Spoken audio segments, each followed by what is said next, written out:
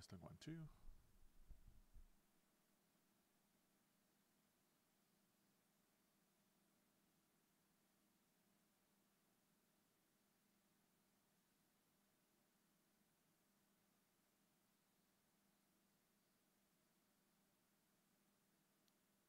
Can you hear me today?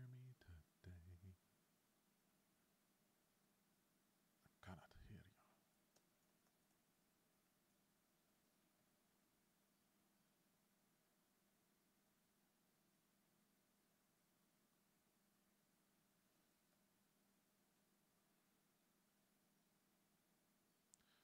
Testing one, two.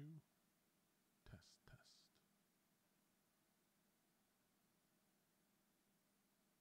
Testing one, two. Test. Hello. Hello, folks. Hello, folks. That's too loud.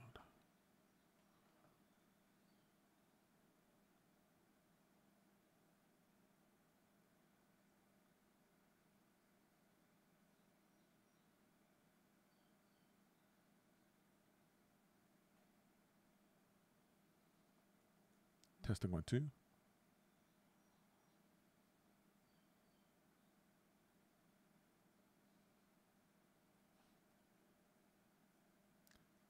One, two, three, four. Okay.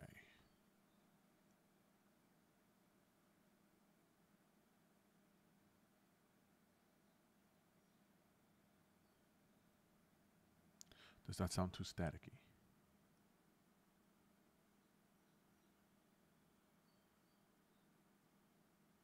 A bit.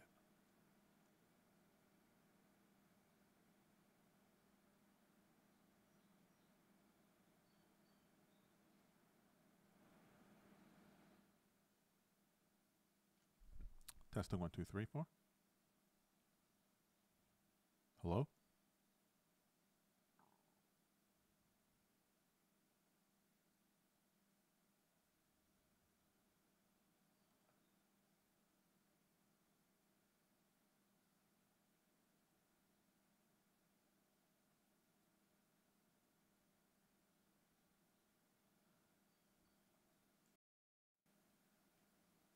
Hello, testing.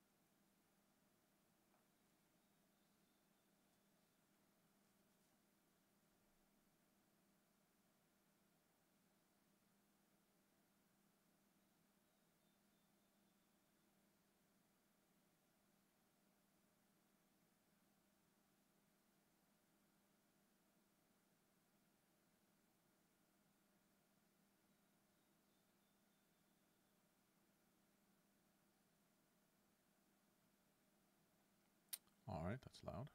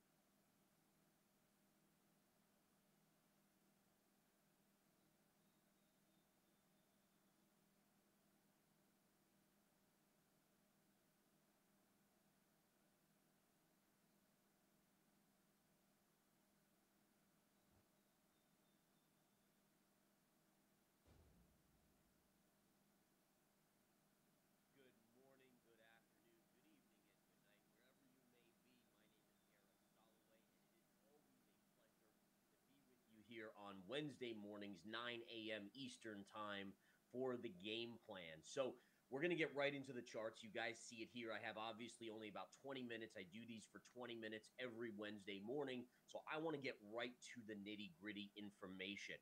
So what do we have here? Look at Bitcoin. Now, the reason this is important, and by the way, if you look at this chart, Bitcoin's barely moved over the last couple weeks. But what's intriguing about Bitcoin here is that we rallied up into this pivot high, right? So if we look at resistance, see this high from April 14th, it was 31,045, let's call it. Well, we pierced it here. We pierced it here. And then just a couple days ago, we closed right there after piercing. And then look at the selling taking place. So, what this is telling me is that Bitcoin is having a very hard time breaking out. And the concerning factor here is that this was and maybe is still bullish consolidation on the chart. But the problem is, is it should be at a point of breaking out, and it's not. And that makes me concerned that you look at the downside level of support, which is 29,900, 850, and we might be headed back down there. Now, if we break that and we have a daily close below that, so basically this line right here, that basically creates a failed bull flag. Failed bull flags mean that you can potentially have a major move to the downside. So, again, let me recap the analysis on the Bitcoin chart here. So, number one, Bitcoin failing again to break right. out. Well, and for those saying. of you that know the methodology, the PPT methodology that I teach in the Winning Trader series, we know that this is a 2x time count. Time counts are very important in charting. So again, for it to fail and not break out on a 2x time count, that is significant. All right. So again, as it comes down here, can it hold this 29.8, 29.9 level? Does it close below? A close below potentially means very bearish price action on Bitcoin. If it can rally up here and close above 31,000 or 31,001 in change, whatever this high pivot is here, that again will be the precursor to staying above for a few days and maybe having a breakout. But right now, this price action is not good. And I want to say this a lot of people, again, if you go on crypto Twitter, if you go anywhere, there is so much bullish sentiment out there on Bitcoin that you would honestly, if I, if I just looked at crypto Twitter, I'd be like, oh man, the Bitcoin must be near the all time highs. That's concerning. Another thing that's concerning to me is that if you look at the NASDAQ, all right, the NASDAQ has been going up nonstop for how long? I mean, look at this chart. And again, I have some other data on this, but nonetheless, we've been in an uptrend on this not only since oct- uh, October of 2022, but look at the recent price action, right? And and again, to not see Bitcoin performing better in that environment is somewhat surprising and potentially a bearish signal. So again, just be aware. Now, I want to talk about altcoins. First of all, let's go to the Bitcoin dominance chart. And we're going to get right into stocks. We're going to get right into commodities. I want to cover gold today. I want to cover various key stocks. In fact, I have something big to talk about about Tesla as well today. So we'll get into that. But basically, when we go to this chart here, this is a Bitcoin dominance chart. We can easily see it was a breakout, right? This is, by the way, this is what should happen with Bitcoin. All right, this is the sideways consolidation. It tested, it tested, it tested, well, almost tested, and then it broke out. So that's that's the perfect scenario for Bitcoin, right? To repeat this chart on the on the Bitcoin dominant. Basically, and remember, charts replay out over and over again. You'll find this same consolidation on a thousand other charts out there. And again, the probabilities favor a breakout. If it doesn't break out, that's where you get a failed move. And failed moves in technical analysis result in major moves in the opposite direction. So the reason why I'm bringing up that 29, 8, 29, 9,000 level is because if we fail, if the bullish pattern fails here, you should expect a move to at minimum 25,000, maybe as low as 22 to 20,000 on Bitcoin, probably within a month or two. So that's again for those of you that are watching like if someone told me they were long Bitcoin right now, I would say, okay, that's okay. As long as you understand where to exit that. Now, when we go to the Bitcoin dominance chart, this pattern is a little bit negative in the short term. Now, remember, I'm talking very short term. Bitcoin dominance longer term has broken out of the bigger pattern. So, again, Bitcoin dominance to me is heading much, much higher. Right? Ben Co- Co- Cowan and I have agreed on this. We've done our show, The No Shill Zone, which is Monday mornings at 11. But basically, you're headed here to approximately this 59, 60% level, right? There's a big level here as well. So this is where Bitcoin dominance eventually will head. And you guys know I'm a long-term bull on Bitcoin. I love Bitcoin longer term. I'm just a very short-term trader. So if we go to this, this pattern is known as a bear flag. All right, big move down, inside bar consolidation. What that tells me also is that the likely move for Bitcoin dominance in the short term is to the downside. So again, you may see alts hold up. Now, by the way, it doesn't mean alts are going to go up. It just means alts may hold up a little bit better because they've been hammered than Bitcoin does in the near term here if this bear flag plays out. Now, interestingly enough, I want to show you this. If we look historically at Bitcoin, what do we see here? Well, we see that here was a low from about 40% of dominance. It rallied to 45% and then consolidated and then broke out. Here, we went from 43% to 48%, another 5% in dominance, and then it consolidated here. So what did we do here? It went from 47% to 52%. That's 5%. So again, 5% dominance increase, 5% dominance increase, 5% dominance increase, and then consolidation, consolidation, and again, overall, even if it goes a little lower, which is what the chart's telling me, it's consolidation. Do you guys see what I'm saying there? It's actually pretty cool on the charting side of things. So it seems to me that Bitcoin is in a pattern of 5% incremental moves on dominance before it needs to consolidate. That again is what I'm seeing here. Now, if we go to some alts here, take a look at Cardano. Cardano, look at this resistance, tested it here, tested it, and now pushing back again. So you're seeing how the alts have seen bounces off of their lows from when we got the SEC news. But again, the alts continue to pull back off of resistance. Now, in the best case scenario, this is where Cardano could head. That's my best case scenario, folks. So again, you know, to look at this, I have a trade signal long on on this. We're in the money slightly on this. I do think there's one more chance at a potential breakout, but we're not looking for a huge score here it's upside to this downsloping trend line, then it's going to meet a lot of resistance at that point. The overall bigger picture, by the way, what's the bigger picture? What type of pattern is this? This down move sideways inside bar, it's bearish. So again, you want to see this pop through here in the next, let's say, three to five days, and then look for eventually a breakdown lower. All right, I want to move on. Now, this next segment, we're going to talk about Twitter, guys. Twitter beat deliveries I think it was on Sunday, the first of the month, they announced they beat deliveries. The hype was incredible. Elon Musk, the genius. And listen, he is a genius. I'll be the first to say that. But this is a problem. This is what people are not not understanding. There's two factors. Number 1, hey, well, number 1, the chart's into resistance. Look at that. Pivot high, pivot high, pivot high. Pull back eventually to this line. All right. So again, listen, where it goes after that line, maybe it goes way up after that line. I'm just telling you that the chart needs to retrace to the scene of the crime. All right. So you're looking at downside to about $225 on Tesla. Now, number two, you have to look at how they achieved their beat. They cut prices on their models by up to 20%. 20%. Now, if I I have services, I have verified investing crypto at verifiedinvesting.com. I have verified investing alerts at inthemoneystocks.com. If I cut prices by 20%, do I think I could boost my sales numbers too? By five, by the way, they beat by 5%. And the answer is yeah. I mean, oh my God. If I had a if I had a, a 20% off sale, there's no doubt I could boost my sales by 20% or, or 5%. So yes, that makes sense. The problem with cutting prices is it's very hard to raise them back up people get used to the new price. They buy what they what you're convincing people that maybe couldn't afford to buy. Once you do that, you're going to run out of people again. Do you cut prices by 20% again? Do you cut it by again and again? My point is it's unsustainable. So that's problematic. All right. You shouldn't have to cut your price to increase sales. Or if you do have to cut your price to increase sales, there's a bigger system systemic problem there. And I think that's competition. Now, this is where things get even more interesting. So we have to understand what is going on.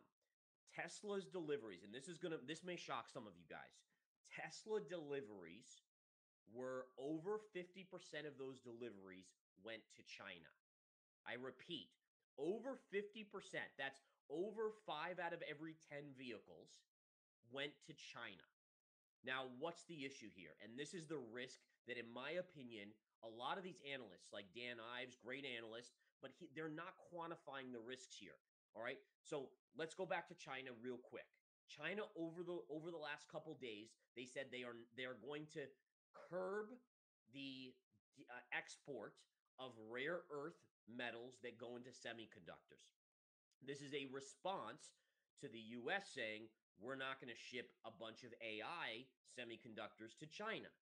In addition, China now has just come out and says that the US is making Taiwan a powder keg because of essentially military equipment sales to Taiwan.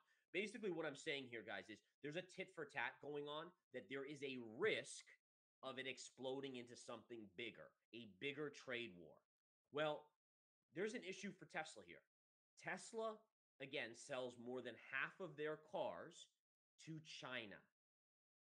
If that explodes, if the US China relationship totally explodes, let's say China invades Taiwan, Tesla's price could drop by over 50%. Now, that might only be a 5% chance of happening, but that's not being reflected in the risk of owning Tesla. Like when you hear analysts talk, you are not hearing, like, oh my goodness, what if this long shot happens? The other thing to understand, and this is something that I guarantee you have not heard from any other analyst, is that if the US government recognizes, and I'm surprised this hasn't happened yet, that basically China controls essentially if China banned the sale of Tesla vehicles in their country. thank you. Tesla's stock would fall by 50 plus percent. I mean, that was true before, in, in and theory, right? If 50% of their sales or over 50% are going to China, so. you would have to assume that their price looking would fall that. if that happened, if they got banned from selling. there. liquidity changed, Think about this. so it moved up. Elon Hit Musk, resistance. he owns he's two he's worth Liquidity two hundred pull and back and pull back. dollars. If Tesla bounced, fell pulled up. by fifty percent, Elon Musk I think would lose current about pulled back down. thirty confirmed, percent of and his net up. worth. That's Elon Musk owns t- Twitter. What is the power that the Chinese government potentially has on it from a U.S. security, national security risk for or over Elon Musk's head, controlling that much potentially of Elon Musk's net worth? Think about that, guys. You're talking about like $50 billion plus of Elon Musk's fortune is now resting resting in the hands of China sales of EV vehicles. And again, he also controls one of the biggest platforms for getting Not information interested. out on. to the public, to the US, to the world. So think about that. Again, just throwing out information. I just put the facts in front of you, and you guys take it and make what you will of it. That's all I want to do here. Make you think outside of the box so that you can be aware. And again, maybe it never comes to fruition. Maybe the maybe China and the U.S. make up. Maybe we become best buddies again. But as an investor, you have to make decisions based on all factors, not just hopes and dreams. Hopes and dreams are great, but when it comes to investing, that can make you lose. All right, let's get on with it here. Let's go to the overall S&P 500. Here we have the S&P 500, which again, by the way, this morning is lower. And for those of you that don't understand cycles, we did just have a super moon, I believe, uh, just a couple nights ago. So again, that can be sometimes a turning point in terms of its effects on us as humans. And again, I'm not going to get more into cycle work than that.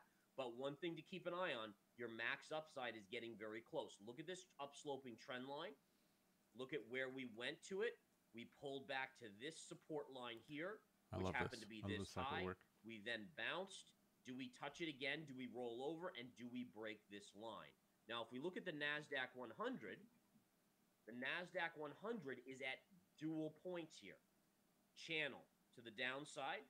Look at all the pivot lows, pivot low, pivot low, pivot low, pivot low. Okay. Then right here, we clearly see we hit the line here, which was a dual pivot right there and here, and then your pullback occurred. We're right back into that level. All right. So again, we're very close to, in my opinion, a big test for the markets. Can they continue their rally and break out? Or if we start to sell off, watch this level on the cues. So essentially, what I'm saying to you is that if you can get above on a daily closing basis, the high point here of 373 on the QQQ, you can get another leg up, potentially, mm, you know, maybe maybe 390 even.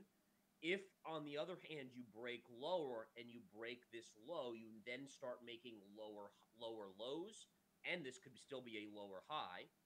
Lower lows and lower highs, price is going to head lower. All right. So again, I'm basically giving you a game plan here for knowing which way the market is going to go. You're right near the top range. Again, a daily close above 373 would be bullish. We're at 370.30. So I mean basically we're right underneath that. Or if we break below 350, essentially any close below 357.50, then look for another big move to the downside probably at minimum to 347, but I even think you come back if we look here at this pivot. This is kind of my downside target on the NASDAQ short term right here, right?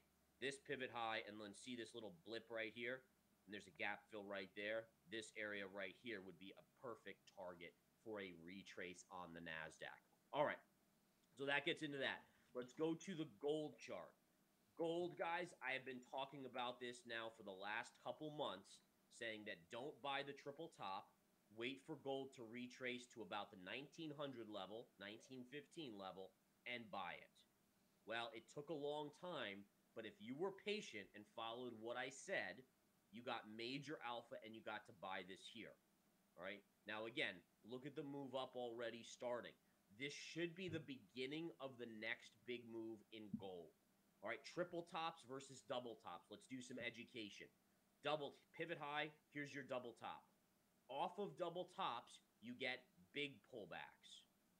Big pullbacks. Off of triple tops, which was right here, you get shallow pullbacks. Shallow pullbacks eventually lead to breakouts. Okay, especially when your macro pattern is bullish. Very clear this is a bullish consolidation up here from this move to the upside. So again, you're starting here. My guess is this is the beginning of a bigger move in gold. Not going to be straight up. I want to be clear on this. At this point, if you go to the 1970s, uh, um, the movement in there, it's this is very reminiscent to the movement in gold. Remember, gold started slow. It started to break the recent highs, the all-time highs back then. It started to break up. It broke up. It was the last leg that's the parabolic leg. That's where, again, my guess is where we're ultimately heading. All right, so again, just a little heads up on that. Gold again is likely has likely made a short-term low and eventually will climb to the upside. Now let's look at silver real quick, and then I want to go to the 10-year yield, which I called for a breakout on out of the the triangle or the the wedge pattern, and then potentially a breakout going forward. Silver's having a good move today. Again, silver didn't quite get to my low level here, uh, but nonetheless, we'll see. This still could be a bearish pattern. Let's watch to see how that plays out. I don't have much information on silver here in terms of a buy level versus gold. Gold to me was crystal clear at that level. Uh, GDX was a great play there, which we picked up as a verified trade signal uh, in verified investing alerts. All of these things, guys, just beautiful stuff. All right, let's quickly look at the 10 year. And by the way, folks, I'm not even going into the macro data, but if you want to understand the macro data out there, uh, watch the no shill zone with Ben Cowan and I on Mondays at 11 a.m. We go into the hardcore deep dive of all of the macro data. Now, this is what I was saying, guys. And there were a lot of people that like, oh no, this isn't going to break out. And I'm like, dude, the charts are the charts.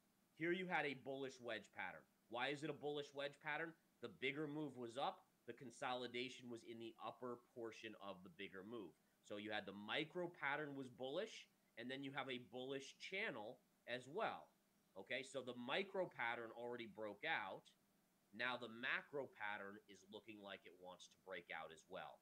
What does this mean? It means the cost of capital is going to continue to rise if we get a breakout here. It means the Fed, I believe, is priced 86% chance they're going to raise in late July. So unless we get a weak jobs number, then then you know maybe that would change at that point. But otherwise, you should expect a rate hike at the end of this month. In addition, by the way, folks, just to mention this, keep in mind you have the Fed minutes today, I believe 2 p.m. Eastern time. So we'll get a little bit more insight from the Fed today at 2 p.m. Eastern time. That should be intriguing. My guess is the Fed does not like the stock market rally. They want to squash it. Um, you might say, well, what the heck? Well, again, think about this. Housing data was strong recently. Why was housing data strong? Well, think about it. You had people that back in October we're looking at their 401ks down 30%. They're now almost back all the way back up. They're feeling better about it. They're saying, okay, well, look at this. I feel wealthy again. I can maybe go out and buy a house. All right. Now, by the way, just the other day, I believe it was on Monday, we got the ISM data. All right. ISM manufacturing. It came in, and again, this is where we're getting a cross section of data you had consumer confidence very, very strong. You had uh, you had the housing data strong. The wealth effect stuff was strong. The ISM data, folks, was the weakest it was since May of 2020. It's a new cycle low. Now, why May 2020? May 2020 was two months after March, right? March, April, May of 2020 when COVID collapse occurred. So the fact that we're back to those levels is something that's a little bit alarming to me and it does speak to a potential for a macro slowdown that is going to hit as soon as the labor market cracks. And I do expect the labor market to crack by year end, if not earlier. Watch out, be safe, be smart, follow the data, folks. It is your surefire way to avoid getting wrecked. That's all I'm going to say today, guys. You have been an awesome audience. Thank you as always. I will be back again next week to give you another game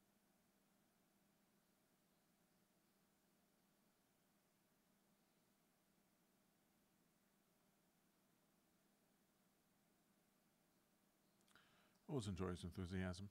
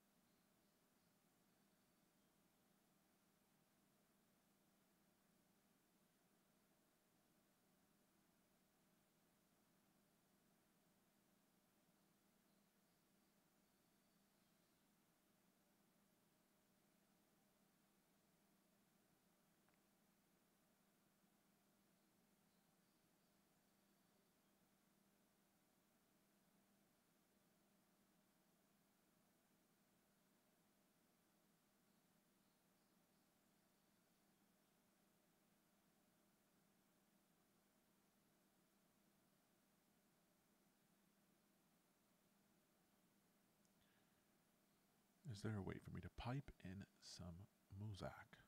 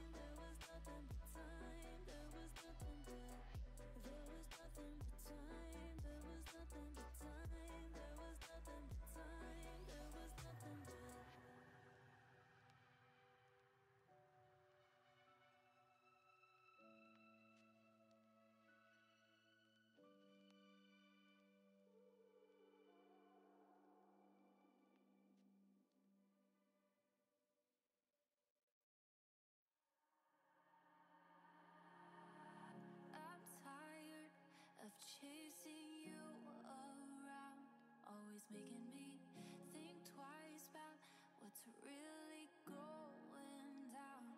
And I don't have the energy to be wasting on you now. So go ahead.